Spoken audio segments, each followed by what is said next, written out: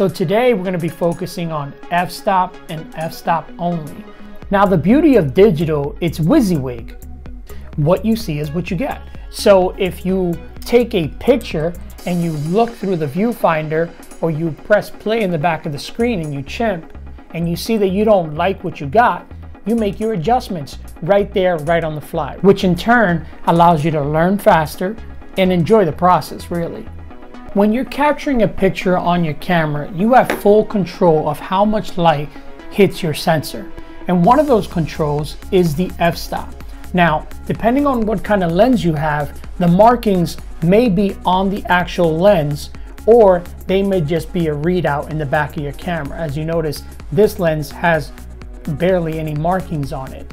Now this lens here is a fully manual Nikon lens and it actually has distance markers on it and it has your f-stop. Now f-stop refers to the numerical value that represents the aperture on the lens. So for example, on this lens, okay, 1.4 represents this aperture or this opening. And if I go up to f22, f22 represents this opening or rather this narrow opening. So this has lets in less light, whereas this lets in more light. Pretty simple, right? And you may be wondering, why the hell do I need to know about f-stop, right? Because that's what I was wondering when I first started. But for one, you really need to know about f-stop because it allows you to control the amount of light that you let into your camera. But the other thing is that it gives you that dreamy feel. It gives you that that out of focus uh, bokeh uh, look that you see in a lot of uh, photography. So if you want to separate your background from your subject, where your subject is the main point of focus, we're talking about depth of field. A shallow depth of field has only your subject in focus, and a deep depth of field has your person, or your subject rather, and the background in focus. Now, portraiture is a great example of where you would want a shallow depth of field of a 1.4, 2.8, and so on, the, the low end of the scale. Now, the exception to that rule on portraiture would be an environmental portrait. Now, an environmental portrait is a portrait that tells the story of the person, your subject, in their environment. So, for example, so here we are in a picture where I used a high f-stop because I know that I wanted the car, the scene that he was in, and I wanted him in focus. This was actually shot in Cuba, as you may have guessed. I was lucky enough to go down there. I saw this moment and I knew that I wanted to get the car and him in focus. I used an f13, which is on the higher end of the scale, the f-stop scale, and will produce a picture with a very deep depth of field. So this is another picture while I was waiting for my tire to get fixed. Again, I knew that I wanted whatever he was doing in focus, his environment, and him in focus. So I opted to go with an F10, which again is other end of the scale that would give me a, a deeper depth of field. This was on my way back from Cuba, and as I come up the landing on the second floor, and I knew that I wanted to underexpose him, but still have a deep depth of field. For this one, I use F-18. Um, funny enough, that's a uh, jet fighter plane. So I'm gonna move on to separation, where you would want to separate your subject from the background. This is the first one. And I struck up a conversation with this uh, gentleman and I asked him if I could have a portrait of him and allowed me to get this wonderful portrait. And I rocked uh, a 2 and F2 to get this background completely out of focus. I met Pollyanna on the train.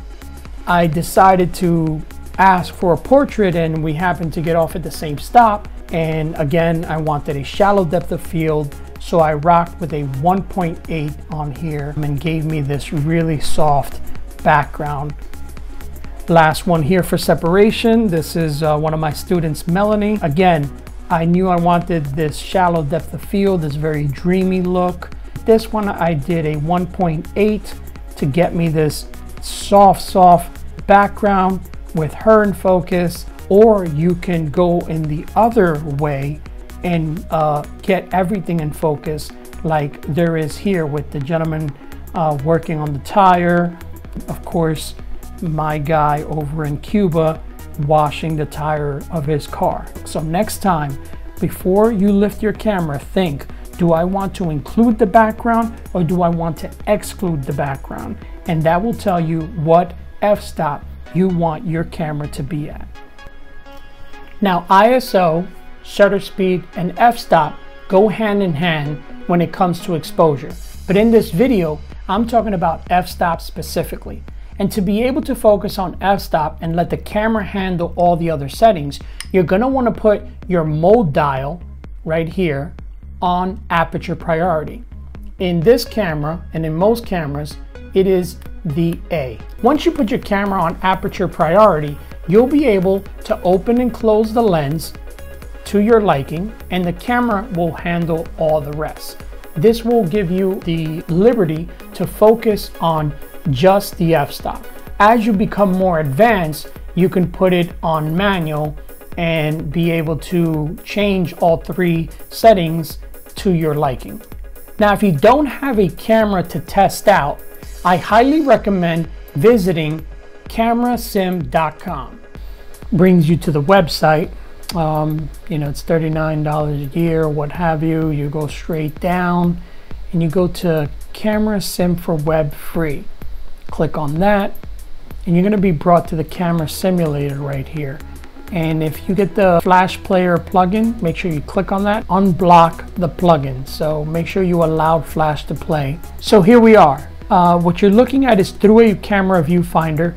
This is what you would see normally when you put your eye up to the viewfinder. You would see your shutter speed, f-stop, your exposure meter, and your ISO. Down here you have the corresponding settings, ISO, aperture, shutter speed. This is the exposure triangle right here. This large button here is your shutter release. So if you click that, you're gonna hear the shutter um, and it'll take a picture. You can change your weather uh, from mostly sunny to completely sunny or into uh, nighttime. And what you're gonna see is that you're underexposed by two uh, full stops. So I usually go with like mostly sunny. Um, you can change the mode. You can go from aperture priority to shutter priority to fully manual. You could also put your camera on a tripod, which will stabilize things minus her. Notice she is moving, okay?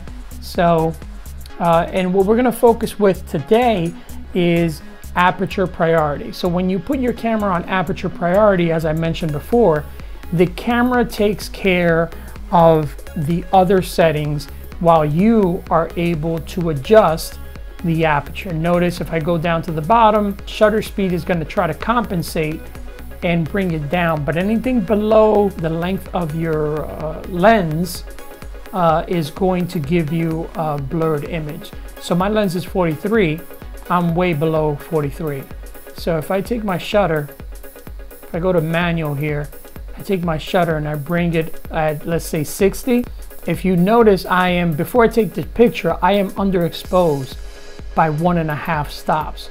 So what I'll do is, I, my aperture is where I want it. My shutter speed is where I want it.